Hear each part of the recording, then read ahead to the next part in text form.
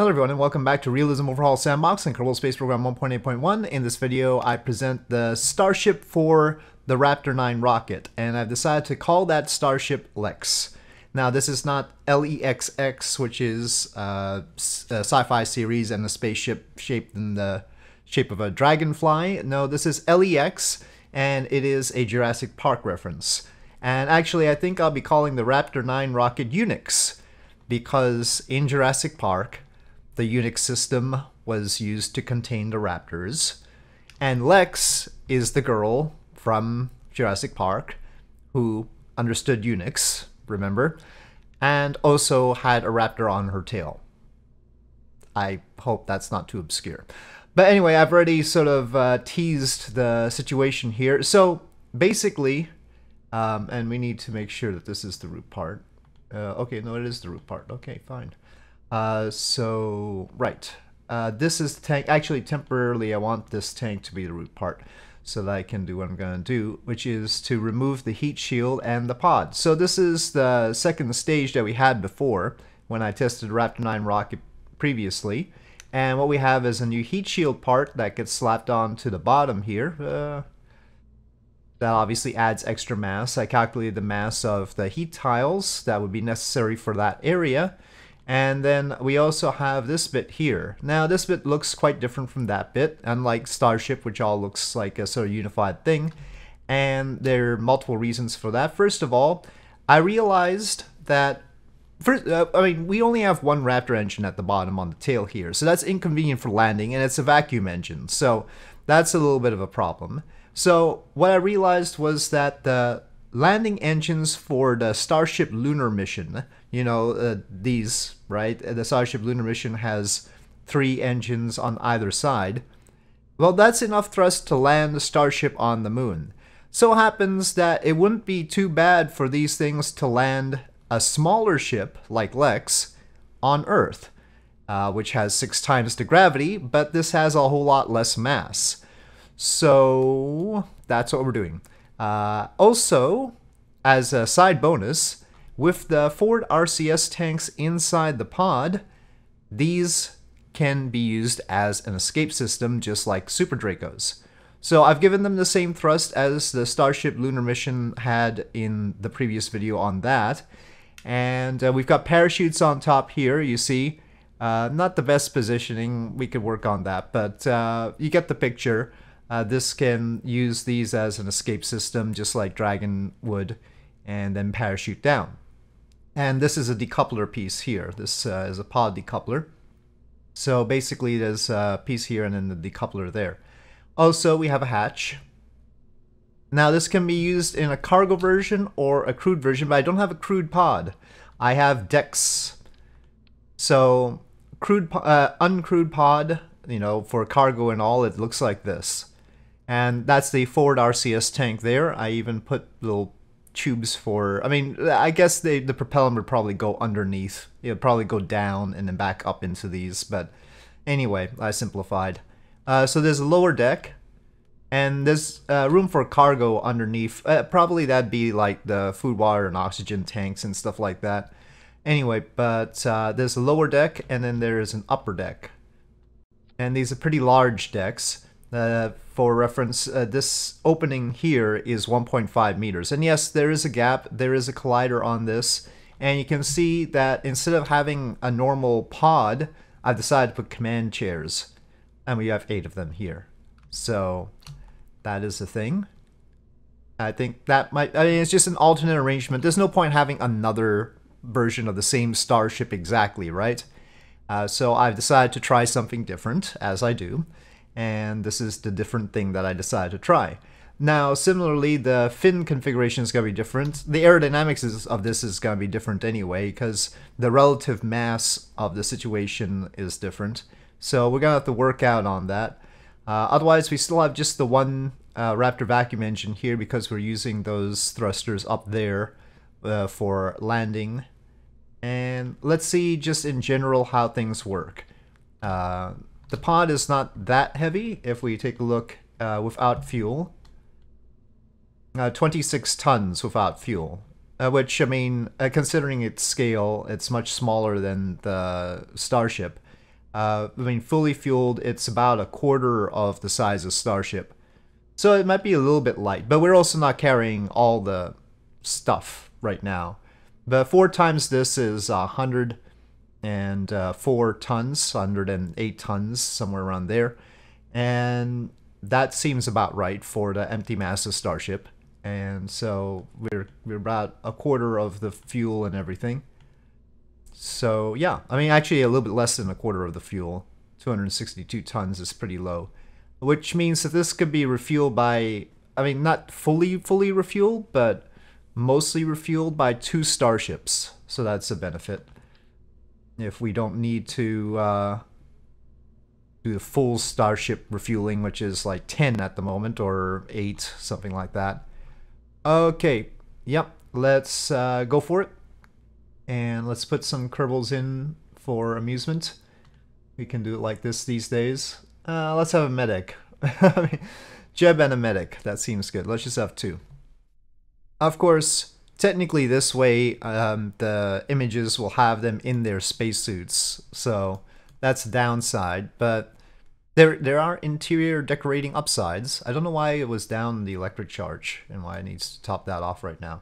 Okay first of all maybe we should try a pad abort sort of situation. Oh i have the abort action group. Now the pad abort well there's a bit of a problem with g-forces. Remember we don't have the fins on yet. I have to figure out exactly what fin combination would be best and uh, that's going to be different than what it is for Starship. Uh, partly also because the way the Starship back ones actuate, I don't think Kerbal even understands properly. But uh, even if we get them actuating properly, I don't know if it can control it properly like that. So anyway, um, if we do the abort action group, oh, maybe I should throttle up first. Um, okay, maybe that needs to be reaction grouped. Okay, so that, and then the, the coupler Let's put SAS and RCS on just for the heck of it. And okay, there we go. Oh, uh, no, I want to be here. Okay, not that many G-forces, but you can see we have a lot of G-forces. The problem is we have so much G-forces that flips around and rips apart, and we've lost our Kerbals because the decks have separate parts. um, so that's a problem. We do need some fins to make sure it's stabilized and it's not going to flip around like this. Uh, that's why Star uh, Dragon has those fins on the trunk. So turns out that there's a good reason for it. But we certainly have enough thrust to get off uh, the the rest of the rocket. And this is not to end well because we also lost our parachutes. Um, yeah, so see, this is why they do abort tests. It turns out it doesn't always work. Yep. Yep, definitely a problem. Oh, can we land on the V? Not really. That's not, that's the SPH actually. There was another part that got destroyed there too. Lots of parts got destroyed without this actually destroying itself. Raise hatch. Maybe we should do an in-flight abort and see how that works. I'll have less aerodynamic stress on it because it's not as low in the atmosphere. Where SpaceX did it, it wasn't as low in the atmosphere, so that helps. But of course, they also did a surface abort test with the Dragon Pod anyway. Okay, so we'll do an in-flight abort test. Um, we'll have to add fins later. We'll see how the in-flight abort works. So, SAS on, throttle is up, ignition. And launch. Incidentally, the whole system is less mass than Starship is. Fully fueled. Uh, I don't know why the stage time isn't reading. I wanted to make sure we had 20 seconds, but let's say we abort here. Uh, let me make sure I'm controlling from here, jeez. From, from here, alright. Abort. And we're aborting with the engines firing. Well, that's not good. See, we need fins. Otherwise we could tumble back into the thing. Okay. And parachute. Um. Rocket's still going over there. Let's make sure our parachutes are configured properly. The Ford RCS, uh, Ford RCS is pretty heavy actually. It's like six tons of RCS. I might want to cut down on that. I was using the full volume of that tank in front. Um, I think we could do with not using the full volume of that tank in front, so that might be an improvement. With just this Ford RCS, it probably has some trouble controlling roll, too. Okay, alright. Hopefully it'll stay there. Now, of course, if I had made the pod in just as just one part, uh, things would not rip apart during the abort on the surface abort test. Okay, pretty high g-forces coming down here. And the Kerbals will be fine in that. Oh, it does want to flip around, but uh, it's safe for the part that needs to be safe. Okay. We are slowing down. And it looks like the parachute stopped being armed somehow, so let me try that again. Okay, 9 meters per second. A little bit faster than I would have liked. Uh, maybe because we're carrying a little bit of extra fuel still. We'll see how this does. Okay, uh, bit of a splashdown issue here. Uh, well, okay. Well, it is what it is. I think that's acceptable. Alright, so it's possible they could survive something. That's the point. Now let's get to orbit. Now it's pretty obvious that it can get to orbit. The purpose of the orbital test is actually... I don't know why uh, the, refueling the electric charge increases the vessel mass. That's weird. Anyway, uh, but I don't know why it has to do that anyway. I don't know why we are short food, water, and oxygen. There's so many questions. Oh, is there a little food, water, and oxygen for the individual seats? I did not realize that. Okay, uh, or the Kerbals themselves, because they're in the seats.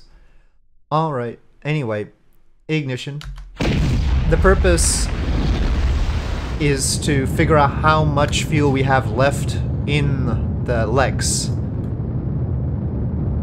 which will tell us how many refueling trips we will need to top it off how much delta V will we end up with? I mean, you can see we have lots of delta V. Now, of course, we're going to be shutting this stage off early. 20 seconds is what we're going to re reserve for uh, return to launch site landing. And then we'll see. Now, this staging is weird. That's fine. No. Yes. Yes. Okay. Doing pretty well. And let's throttle down a bit. Okay, shut down and separation ignition.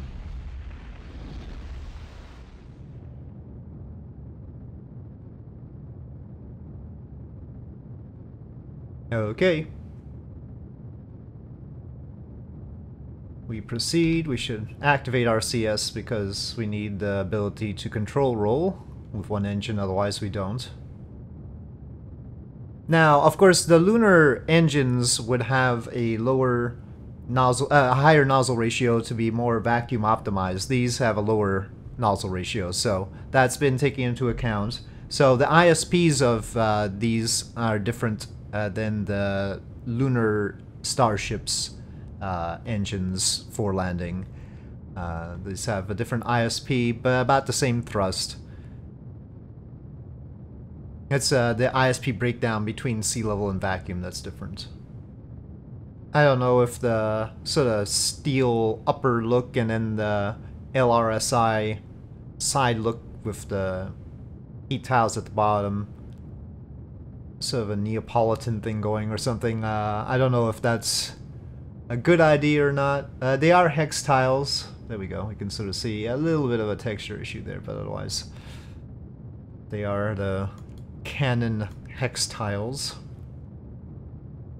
Okay, well it's not really giving me the stage delta V here. I'm gonna, let me see. Okay, now that I've created a dummy stage there, it does. We'd probably want to carry some more cargo, though. We're practically carrying nothing at this point. But alright. Uh, 204 by 187. We've got 2,014 meters per second left, so not bad. Um, we're at 58 tons. So yeah, probably just two trips with uh, Starship will do it. Maybe even less depending on how things turn out with Starship and how we rate the engines. Uh, so yeah, that's pretty good. Uh, we could do all sorts of activities here uh, without doing any further uh, refueling. That's possible. And raise the hatch. Hey, there are Kerbals. They can EVA in here too. Uh, if we get if you get the camera in and get them out of their seats. Let's test that. Because uh, there's a collider all the way around. In fact, um, okay, but the problem is the camera. Uh, let's see. Uh, uh, uh, okay, so leave seat. Oh, okay. Mm, okay, let's see us. Make sure. Bump. Okay, good. Bump. Bump. Bump. Hey, back, back, back, back, back. Oh, can't see anymore. Can't see anymore. Okay. Uh. Okay. Uh, let's try and get to lower deck. Um. Up. I can't see. Ah. Uh, no. Okay. No. No.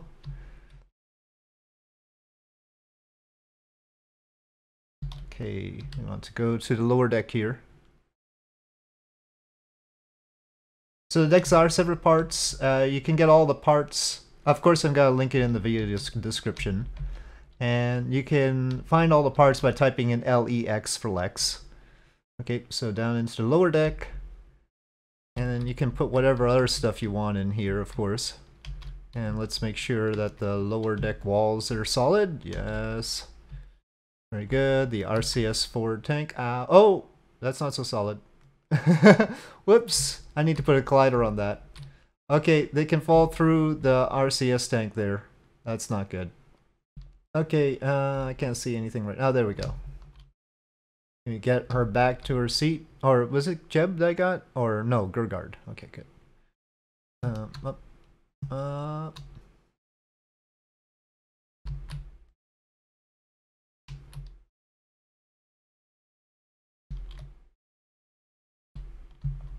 Uh, board command seat. All right. Successful internal excursion. All right. Well, hey, uh, it could be interesting. It could be interesting. That's all I'm saying. So, maybe this is the start of a brand new future in Kerbal Space Program. Who knows? But uh, with this, and again, I'll link the Raptor 9 folder in the video description. If you previously uh, downloaded that, you can just overwrite everything. You need to, otherwise you won't have the bottom node for the heat shield part down here. So there's LexPod, LexPod tank tiles, there's the decoupler, there's the pod, and then the two uh, surfaces inside the upper deck and the lower deck. Alright, uh, thank you for watching. I hope you enjoyed this video. If you did, please do press like. If you have any comments or suggestions, please leave them in the comment section below, and I'll see you next time.